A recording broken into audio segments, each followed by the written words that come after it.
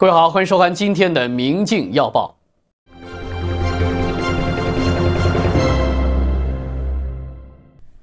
新闻时事报为您播报：香港出现华为手机集体死机潮，系统无法更新。请看报道。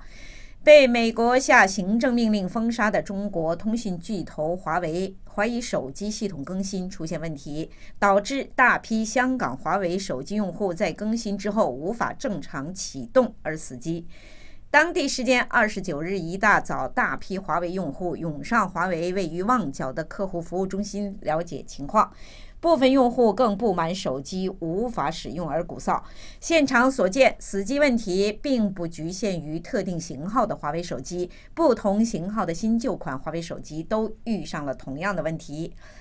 根据香港苹果日报报道，当地多名华为手机用户申诉，于周三早上手机就弹出更新要求，随即跳到恢复模式画面，无法正常操作，甚至无法关机。受影响的华为手机型号包括 Mate 九、Mate 十、Mate 十 Pro 等。用户罗小姐表示，她使用的华为 Mate 九手机，今早起身使用手机时，发现手机无法启动登录，只是一直停留在系统恢复模式的画面。于是带着手机来到华为在旺角的客服中心，但职员了解状况后，也无法解释手机故障的原因，只表示其中一个救机的方法就是。帮他将手机重设，但手机内的所有资料将会被删除，令罗小姐甚感不满及无奈。苹果日报记者今早在华为的客服中心发现，中心内外挤满了用户，当中大部分人所遇到的情况跟罗小姐一样，人潮直至中午仍未有减退的迹象。陆续有新的用户到场了解死机情况，期间有轮候者不满鼓噪。Mate 十用户李先生表示，昨晚仍能正常使用手机，但今天早上六点起床开机时，发现手机停止工作，于是到华为客服中心，但中心职员向他表示，要立即救机的话，只能系统重置。李先生接受重置手机，但等候一个小时后取回的手机已经可以正常运作，但之前储存在手机的所有资料全部被删除。客服中心职员未能交代故障原因。香港资讯科技商会荣誉会长方宝桥表示。过往因系统更新导致死机的情况偶然也会发生，但这次不同型号的新旧款华为手机都因系统更新而出现死机，情况实属比较奇怪和少见。他怀疑事件涉及安卓手机的系统更新，可能是关于提升安保方面。期间，华为向用户送出了更新档，经解压及安装时，更新档出问题，导致系统无法正常启动。他又指。指虽然 Google 早前宣布与华为终止合作，但有关禁令尚未正式生效，故相信事件与 Google 无关。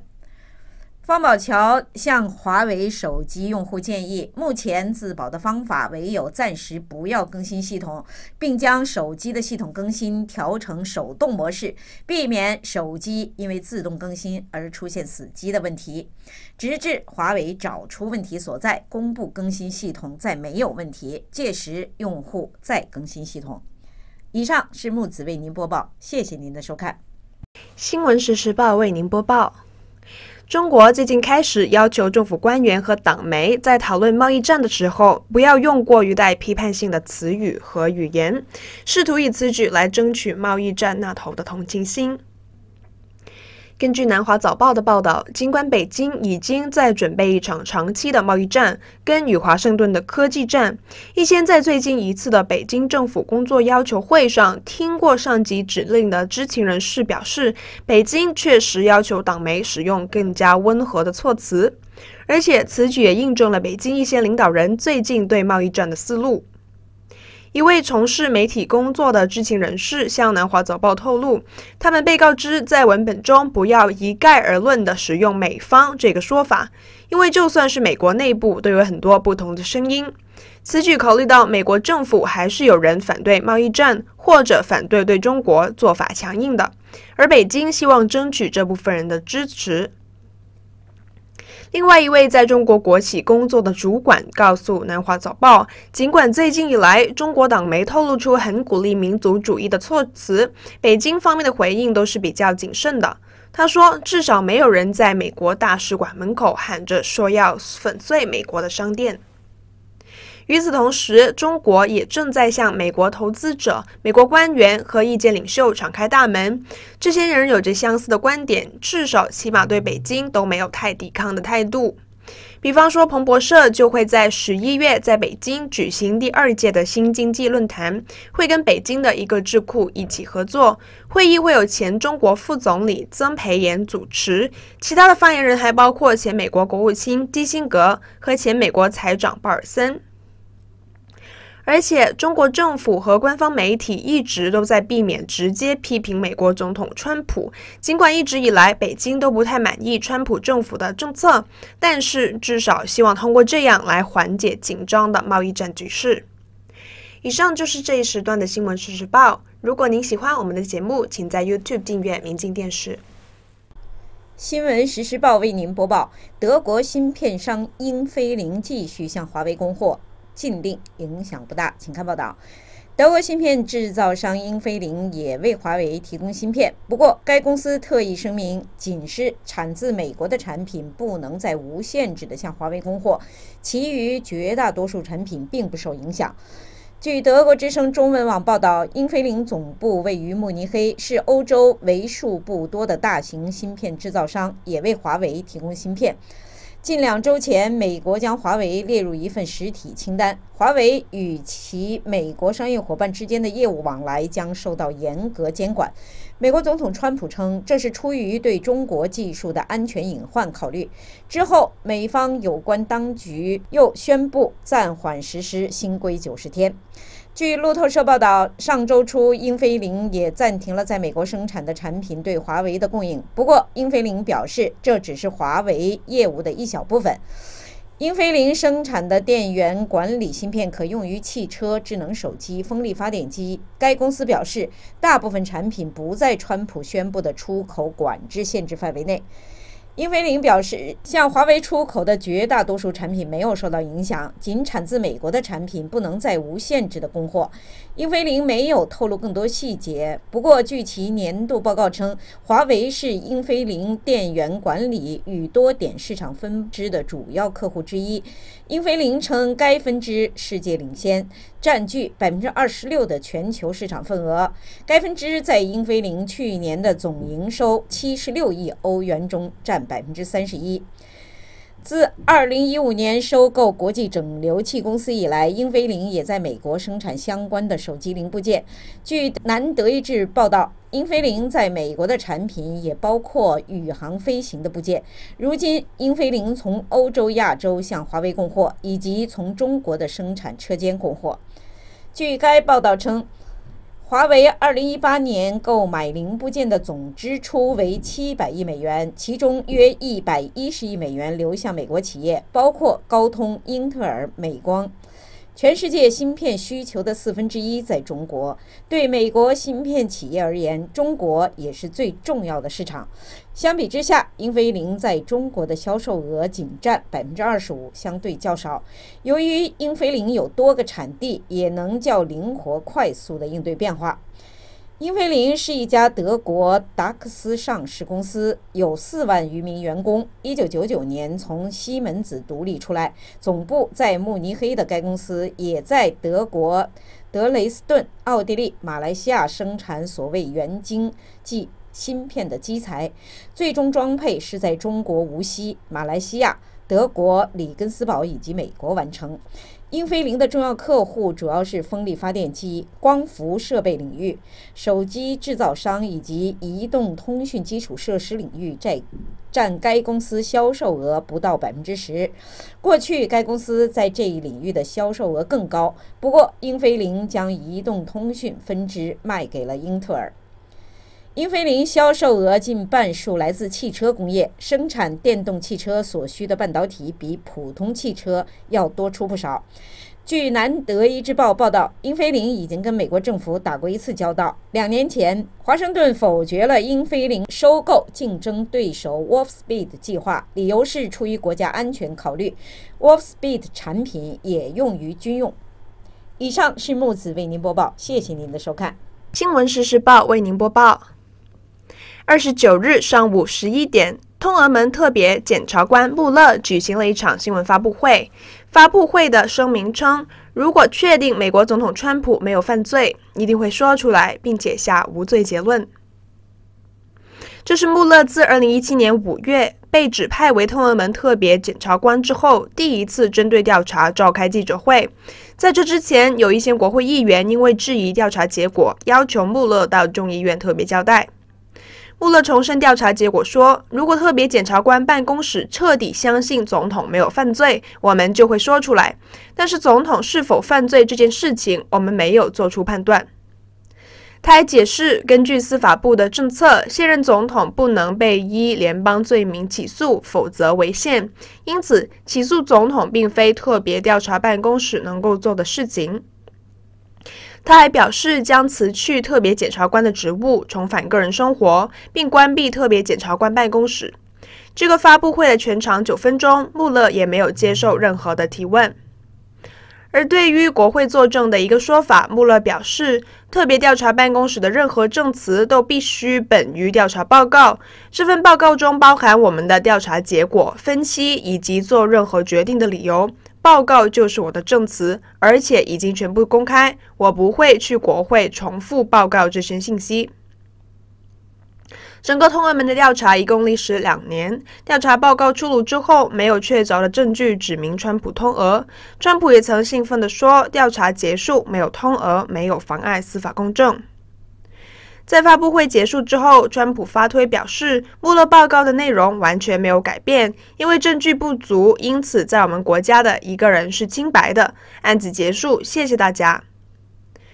民主党联邦众议院戴明斯女士在推特引述穆勒所说的内容，最后补上了一句：“国会必须行动了。”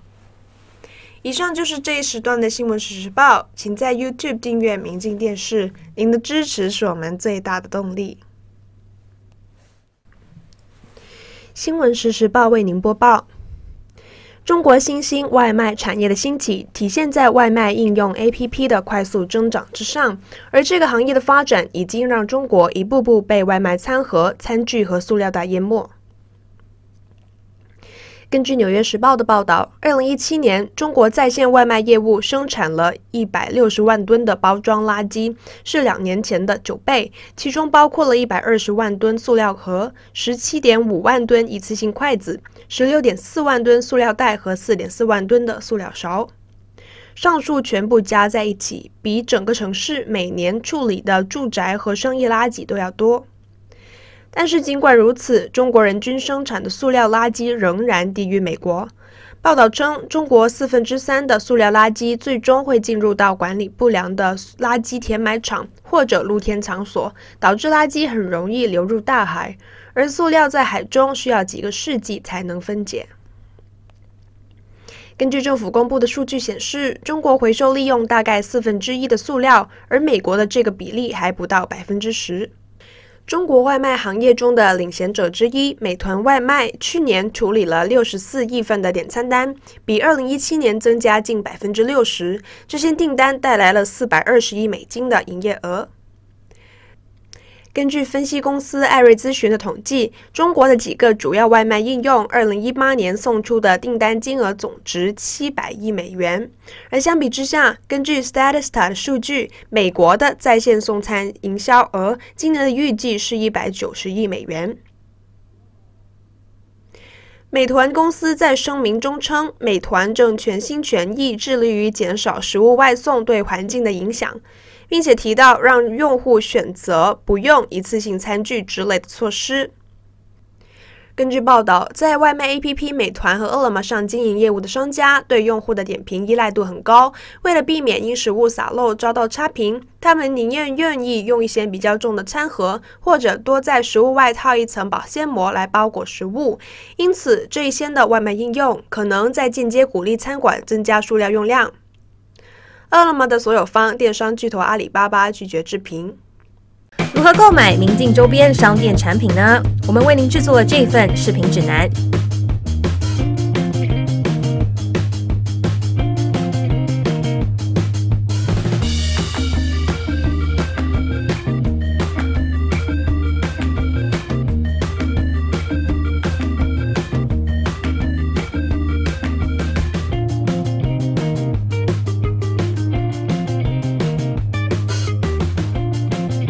如果您对购买方式疑问，欢迎随时联系明镜纽约小编 Twitter 号 at mjtv editor ny，我们会第一时间为您解答。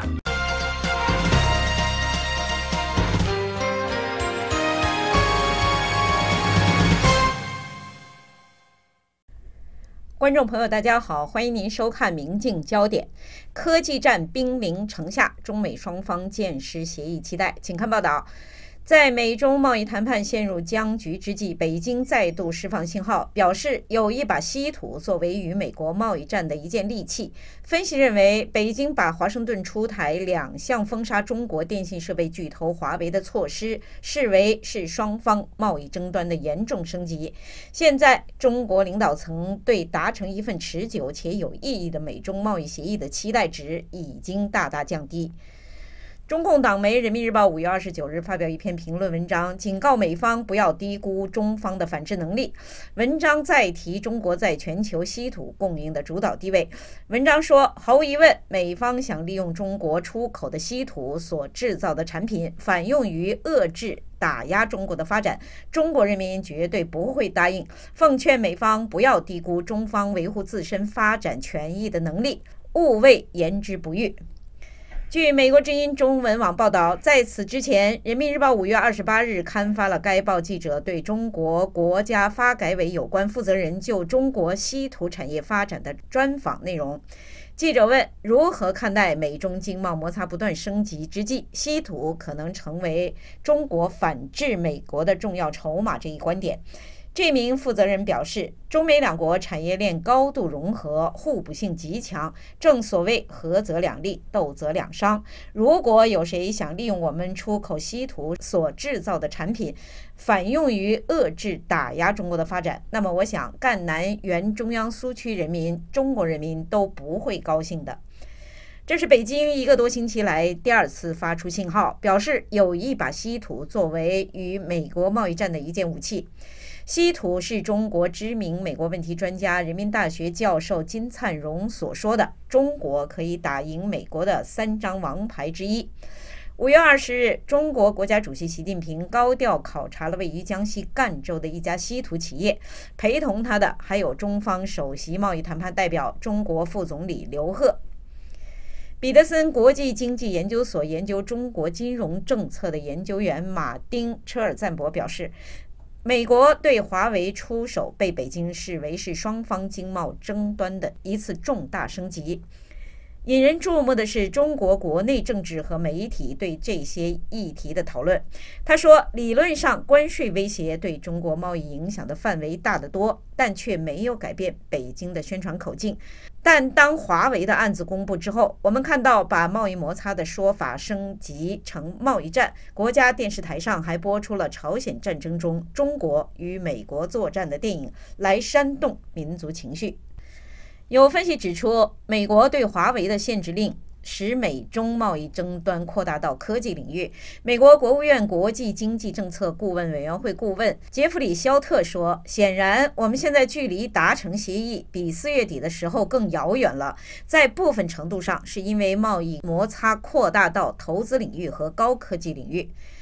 彼得森国际经济研究所资深中国经济学者尼古拉斯·拉迪表示，美方的一连串举动让北京相信，美中贸易争端已经不再是一纸贸易协议就能解决的。他说，中国领导层已经做出决定，认定与美方达成一份轻松协议的节点已过，而且也不再认为对中国采取的贸易行动只是川普一个人，因为很明显，对中国在技术转让和投资。领域的攻击是两党一致的。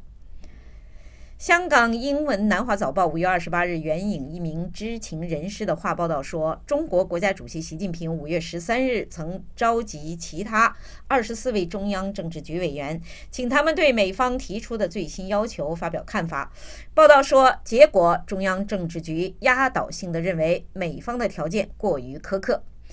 彼得森国际经济研究所总裁亚当·坡森表示，现在中方的立场出现了转变。他说，大约六到八个星期前，他们非常愿意与美方达成协议，几乎是不惜一切代价。他们非常想要达成协议，愿意妥协川普政府提出的任何要求。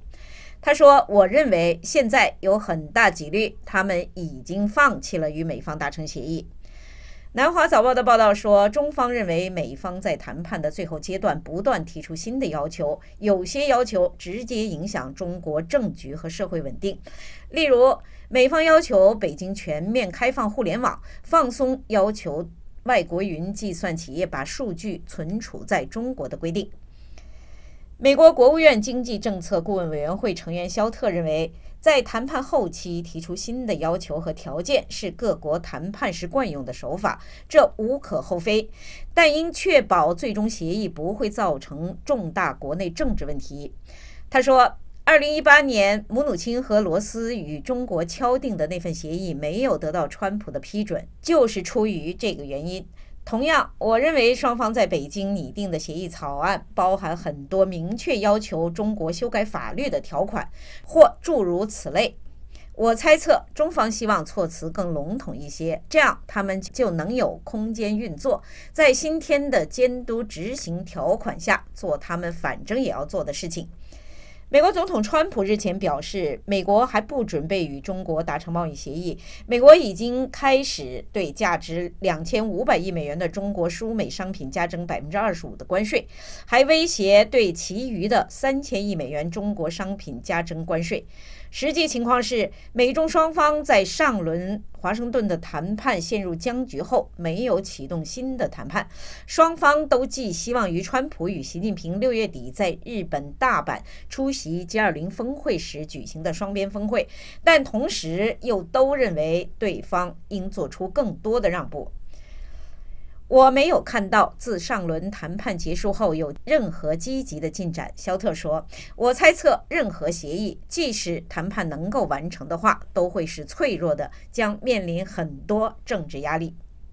以上是木子为您播报，谢谢您的收看。观众朋友们，大家好，欢迎收看今天的《明镜焦点》。中国国防大学教授刘明福日前在北京接受日本朝日新闻资深记者丰村健次独家专访的时候，阐述了他提出的“中国梦”战略。他表示，在二零四九年前超越美国是中国梦的重要战略目标。他还提到，中美关系的继续恶化是不可避免的，而今后的十年将会是最为危险的时期。刘明福在二零一零年就出版了《中国梦：后美国时代的大国思维与战略定位》这一本的畅销书，引起了美国的中国观察人士的关注。刘明福也因此被认定为对美的鹰派人物。他说：“在我看来，这个战略有三个方面。中国梦的第一方面是建立一个繁荣的国家，这意味着在中华人民共和国成立一百周年的二零四九年前，完成中国人民的伟大复兴。”其目标是在经济和科学技术方面的综合国力上超越美国。第二个方面是建立一支强大的军队，让中国拥有一支甚至超过美国的一流军队。美国的军队目前世界上最强大。中国梦的最后一部分是统一。美国之音总结了这一段的独家专访，在报道中还提到，丰村健次追问刘明福：“那么你的意思是说，中国共产党的终极目标是要夺取美国目前占据的全球霸主地位吗？”刘明福则回答说：“超过美国并不是什么罪过，但中国并不寻求夺取美国的全球霸主地位，他正在寻求创造一个没有霸权存在的新世界。中国正在倡导的世界新秩序将更加文明，给人民带来更大的幸福。”记者问：“那么，习近平所设想的世界新秩序主要组成部分是什么呢？”刘明福回答说：“当今世界正处于百年未有之大变局，但也意味着我们有机会做出重大变革。中国的国家目标无非是实现中国梦及中国人民的伟大复兴，其核心战略是连接世界，并通过合作带来幸福的一带一路倡议，最终目标将是建立人类命运共同体。”而至于中国使用武力统一台湾是否会导致美国军事干预的问题，刘明福说：“中国因为担心美国可能干预而放弃统一的目标，这是不可想象的。对于美国来说，台湾只不过是用来抑制中国的一张牌，所以我认为美国进行军事干预的可能性很低，不会导致全面战争。”再说，当中国真正采取军事行动实现统一的时候，那将是中国拥有击败美国任何干预的军事能力的时候。在这一次的采访中，刘明福也对美国现在出现了日益高涨的要对中国采取更强硬措施的呼声，以及中美爆发新冷战的问题发表了他的看法。他认为，中美之间的新冷战其实在几年前就开始了。刘明福说：“奥巴马政府将重点放在亚太地区的再平衡战略，是美国与中国走向新冷战的第一步。川普政府关于自由开放的印度太平洋的愿景可以被视为第二步。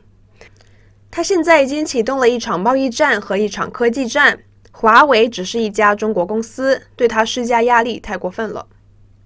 他还说，中美之间的新冷战正变得更加严重，因为美国不仅在与中国打贸易战，而且在更大范围内施加压力，也包括在台湾问题上。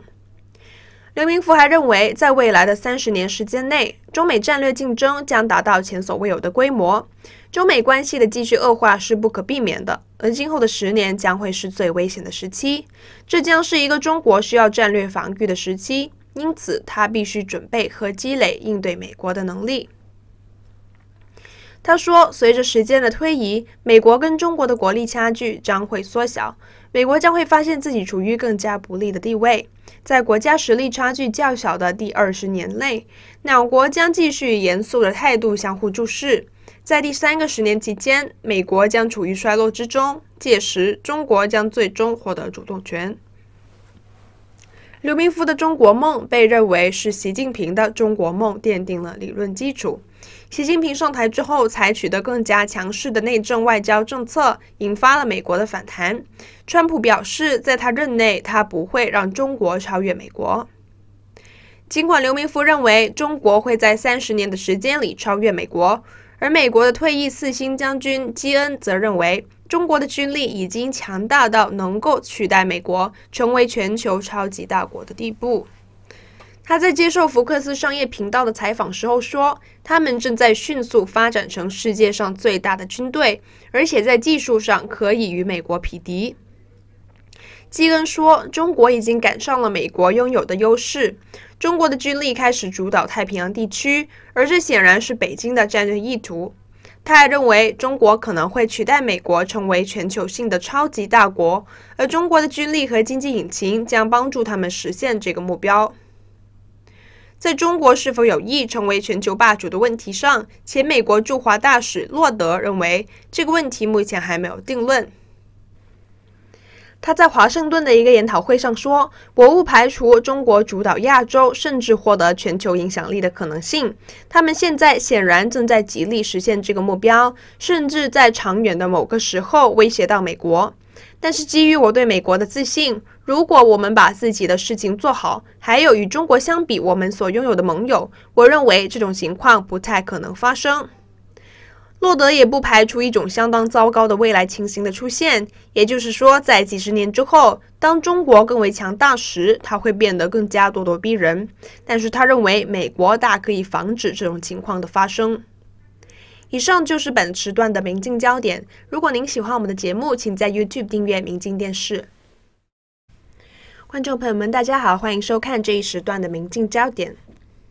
稀土成为了中美贸易谈判中越来越重要的话题。最近，先是有如路透社、金融时报和 CNBC 等的外媒平台分析，说中国稀土如何会成为中美贸易战中的秘密武器。再有党媒《环球时报》的总编胡锡进发推表示，据他所知，中国正在认真考虑限制稀土出口。紧接着，又有中国的一些官媒高调地报道了习近平在江西视察稀土基地的消息。习近平在当地演讲的时候提到，大家要回忆起长征的精神，中国大陆正在开展一场新长征。官方最近也待不住要发声了。中国国家发改委二十八日首次表态。说中国会坚持稀土资源优先服务国内需要的原则，但是也愿意满足其他国家对稀土资源的正当需求。发言人还表示，你提出稀土是否会成为中国反制美方无端打压的反制武器？我可以告诉你的是，如果有谁想利用我们出口稀土所制造的产品反用于挤压打压中国的发展，那么我想赣南原中央苏区人民、中国人民都会不高兴的。那么稀土为何这么重要呢